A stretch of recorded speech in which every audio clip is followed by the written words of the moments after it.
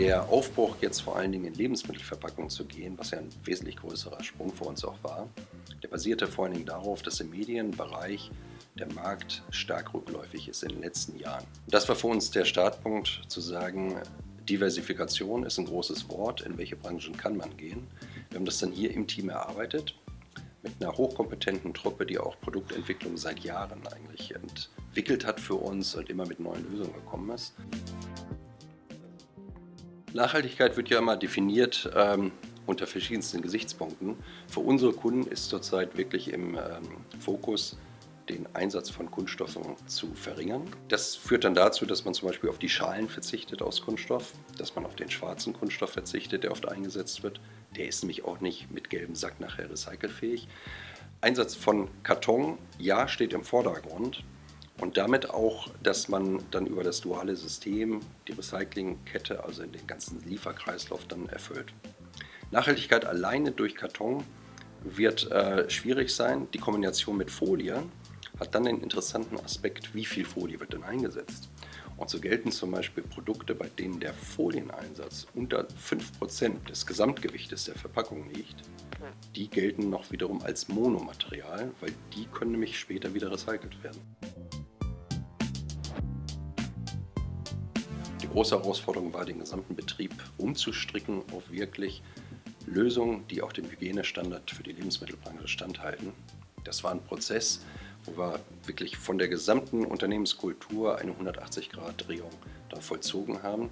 Innerhalb von äh, sechs, sieben Monaten haben wir den Betrieb komplett umgestellt und arbeiten jetzt nach den Standards der sogenannten FSSC 22000 Norm. Man muss sich das so vorstellen, dass in einer normalen Druckerei bestimmte Farben eingesetzt werden. Die können auch ölbasiert sein. Bei uns jetzt nach den Standards dürfen wir gar nicht mehr solche Farben einsetzen. Wir reden von migrationsarmen Farben. Das muss, muss man sich so vorstellen, dass eine ölbasierte Farbe in das Material diffundiert und dort natürlich auch Rückstände hinterlässt. Das sind also speziell hergestellte Farben, die dann diesen Effekt nicht mehr aufweisen und damit Lebensmittel echt eingestuft sind. Und das ist nur eine Anforderung. Es geht bis hin, welche Materialien darf ich einsetzen. Alles redet immer von Recyclingkarton für Lebensmittelverpackungen, die im Direktkontakt, wir reden dann von Primärverpackungen, die dort eingesetzt werden, kann ich aber keinen recycelbasierten Karton einsetzen, weil dort nämlich wiederum, Stichwort Recycling, da sind auch Zeitungspapiere im Recycling, da sind wiederum mineralölbasierte Farben im Einsatz und dann habe ich genau wieder im Material selbst schon diese Mineralölrückstände und das muss ausgeschlossen werden.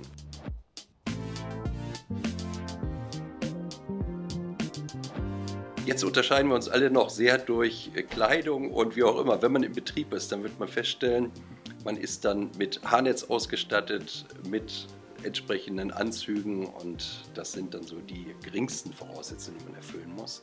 Es sind aber nachher tatsächlich auch Eigenschaften. In den Betrieb zu kommen, muss man komplett einmal die Hände natürlich waschen. Es geht aber auch so weit, dass wir zum Beispiel alles, was aus Glas besteht, muss erfasst sein.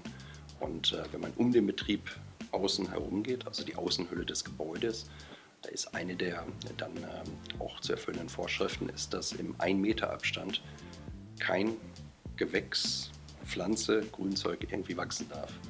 Das in Summe sind nur einzelne äh, wenige Beispiele. Das äh, Gesamtkataster, das umfasst viele hundert Punkte, die zu erfüllen sind.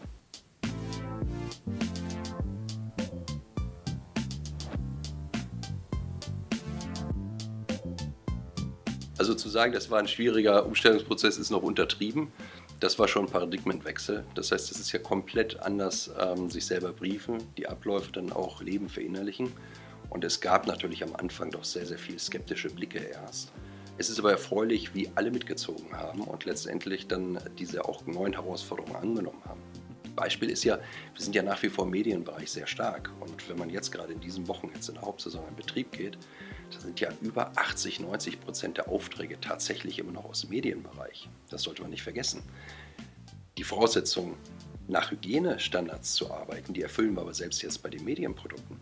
Das beeindruckt übrigens auch unsere Medienkunden. Das sind ja unter anderem große Musiklabels oder auch äh, Hollywood-Firmen, die sich das hier schon vor Ort angesehen haben und sehr, sehr imponiert äh, das zur Kenntnis genommen haben. Die sagen dann auch, das sind ja tolle Abläufe.